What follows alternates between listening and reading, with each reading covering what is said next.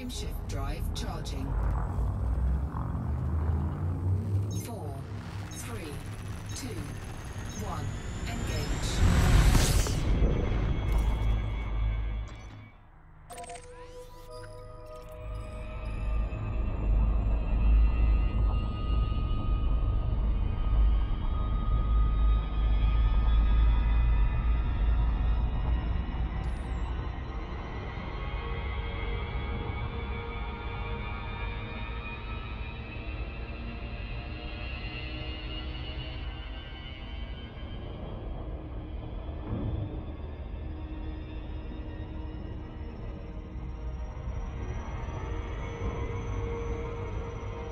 Frameshift drive charging.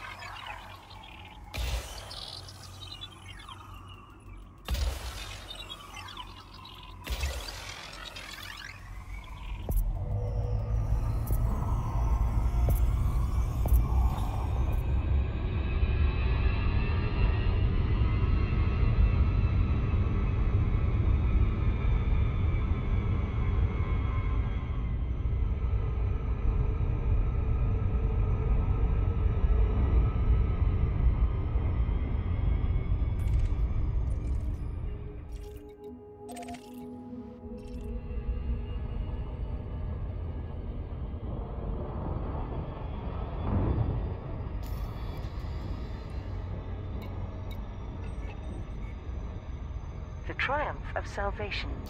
Salvation has confirmed that his anti-Xeno superweapon successfully routed Thargoids from the Delphi, Maia and Merope systems. The following message was submitted to all news feeds. The Thargoid spearhead into human space has been severely blunted. Commodore Halloran coordinated the operation with military precision, and many loyal pilots acted swiftly to provide components for my unique technology.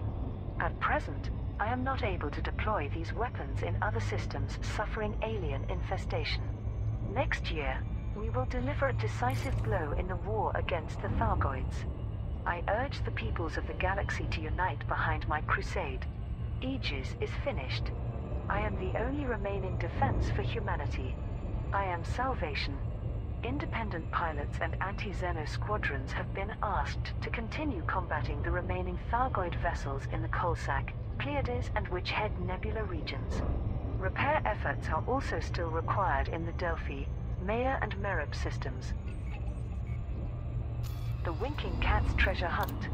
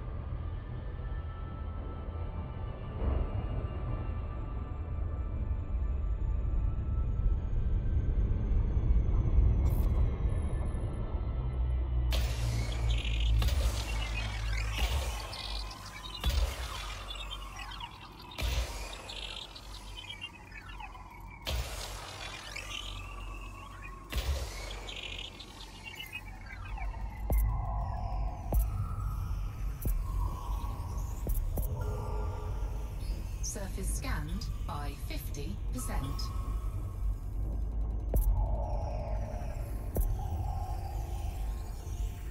Surface scan complete.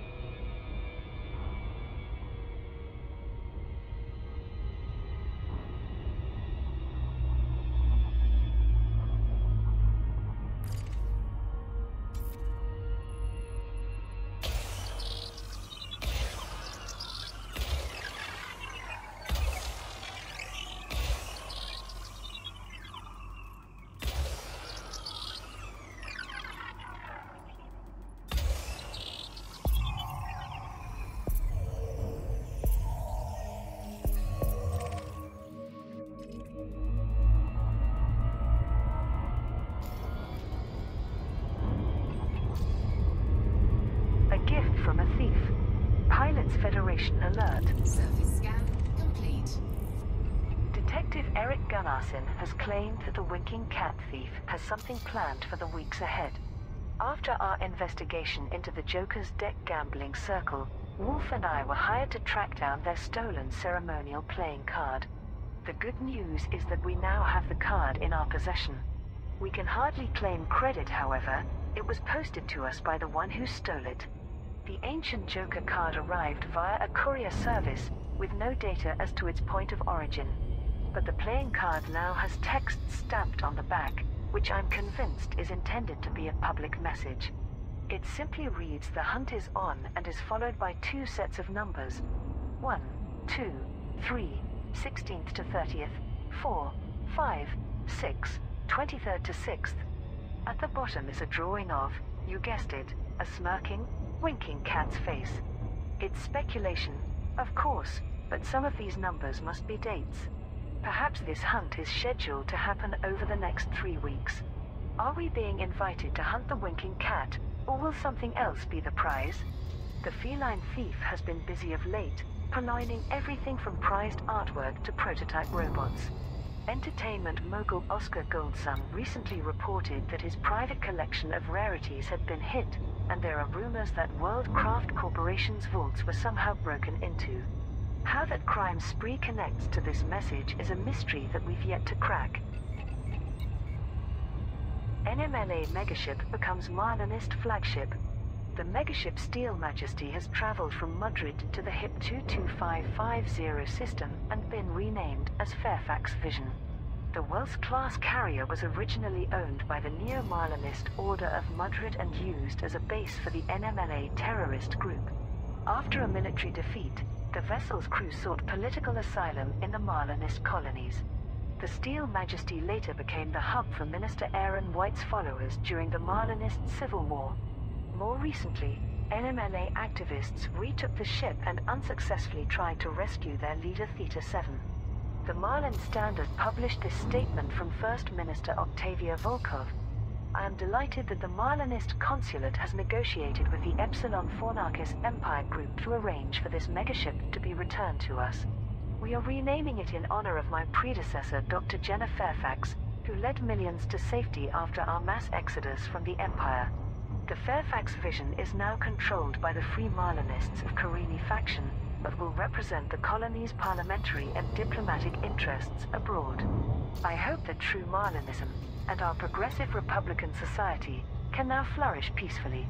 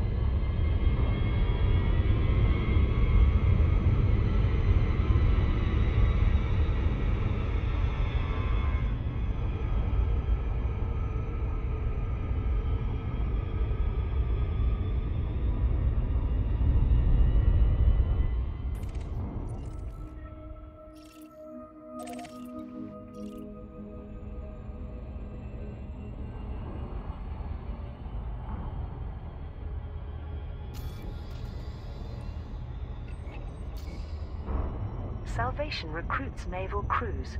The recent counterstrike against the Thargoids has revealed that Salvation is being unofficially supported by trained military personnel.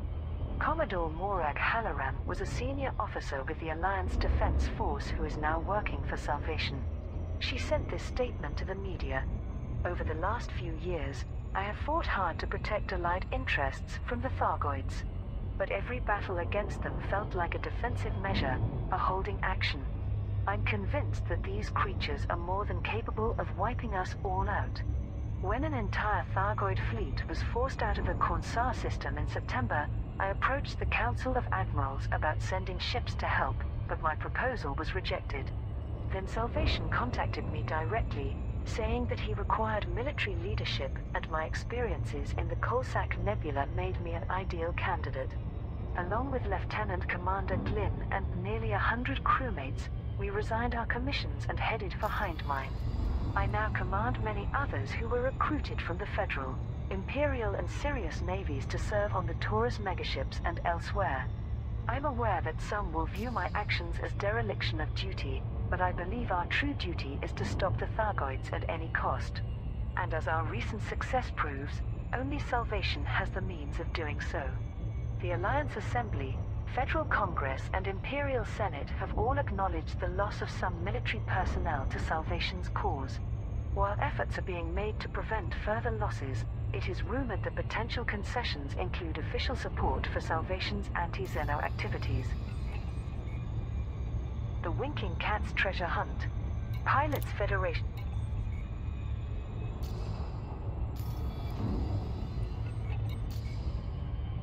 Theta 7's identity discovered.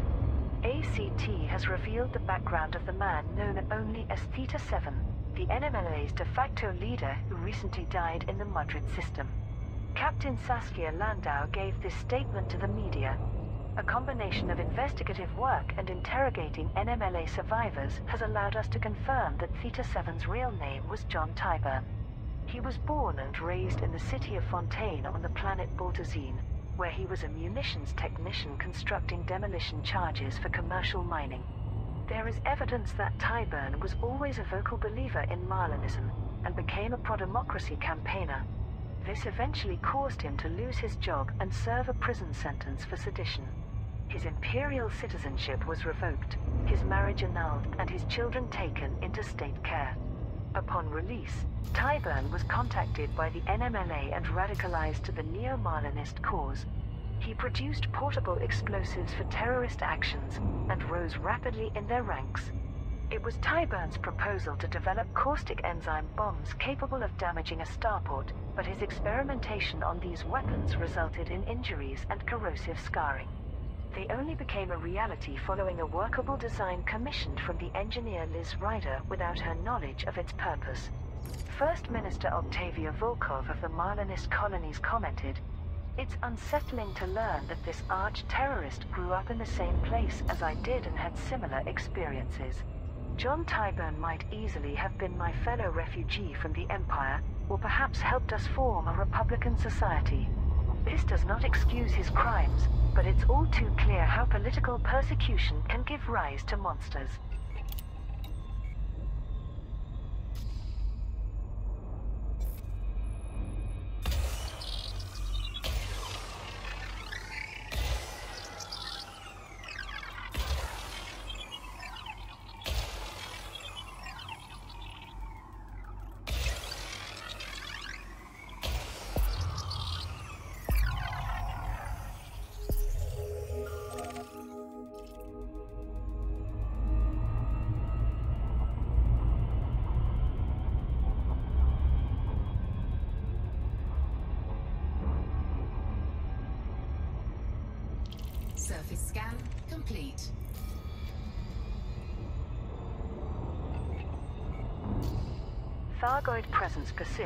Multiple systems.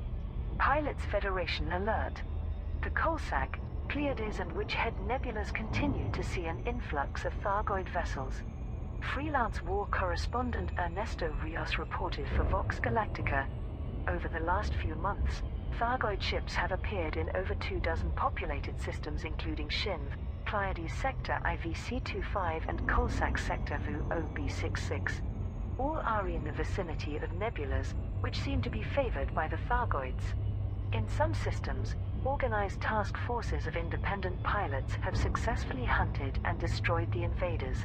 But in others, their efforts are undone by Thargoid reinforcements continually dropping out of hyperspace. There have been public demands to know why more superweapons have yet to be deployed.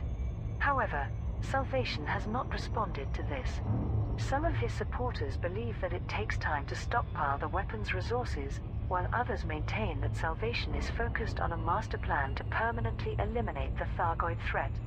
Until then, individual commanders and anti-Xeno squadrons remain fighting on the front line against the escalating Thargoid incursion. The Winking Cat's treasure hunt. Pilots... Galnet, unauthorized messages. Pilots Federation alert. The editorial team at Galnet would like to apologize for the recent articles originating from an unofficial source. On the 17th, 18th and 19th of December, our publication network transmitted text messages of unknown origin. These articles were not officially commissioned or approved and should not have been available via Galnet channels. Galnet formally apologizes to all commanders for this unprecedented disruption to our regular service. As yet we have no explanation as to how these illicit transmissions were inserted into our regular feeds. Our technical teams are currently investigating, and we are confident that this situation will not reoccur. The new phase for Alliance Sirius partnership the Alliance Assembly has invited Sirius Corporation to collaborate on enhancing protection for member systems against the Thargoids. Political journalist Vanya Driscoll reported on the development for the Alliance Tribune. Sirius Corporation has been a key partner in the Alliance's expansion program. Most notably, its subsidiary Sirius Atmospherics helped establish colonies in the Coalsack Nebula to support meta-alloy harvesting. But according to insiders, the suspension of Aegis and the increasing Thargoid presence has raised fears that Alliance systems may be vulnerable to Xeno invasion. This has led to Prime Minister Edmund Mahn suggesting a strategic defense contract with the Megacorp. In response, CEO Li Yongrui himself has traveled to the Alioth system. It's understood that high-level discussions are taking place on ways in which the company might augment the Alliance Defense Forces capabilities. Councillor Nakato Kane, Mahn's political rival, has repeated her claim that Sirius Corporation has a disturbing amount of influence over some council members. She fears that private agreements are being made behind closed doors and has called for increased transparency.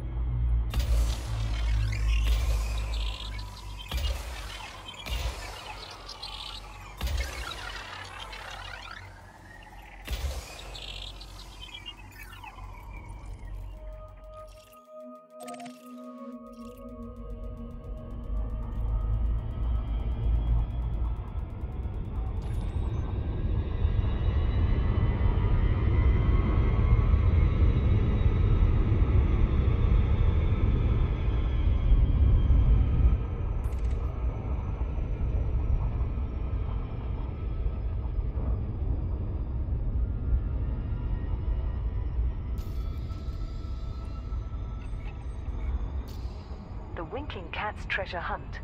Pilots Federation alert. Eric Gunnarsson of the Wallglass Investigations Agency provides an overview of the Winking Cat's latest escapade. The meaning of the message scrawled on the back of the Joker's deck ceremonial playing card has become clear. This time, the galaxy's most infamous larcenist is actually giving away treasure rather than stealing it. Three mysterious riddles were somehow inserted into the Galnet feed over the last week. Commanders have reported that clues within these riddles led them to three concealed caches, each in a different system. According to the dates specified by the Winking Cat, these three caches will only be operational for a two-week period, ending on the 30th of December. We can then deduce that caches 4, 5 and 6 will activate today, and likewise remain available for the next two weeks. This is not the first philanthropic gesture from the Winking Cat. The long-lost painting Pennant Street reappeared in 3305 alongside the thief's signature graphic of a cheeky feline face, but this is a more generous giveaway. Some even see it as a redistribution of wealth, noting that the Winking Cat only ever targets corporations, governments, or super-rich individuals. The Winking Cat's treasure hunt. Pilots Federation alert.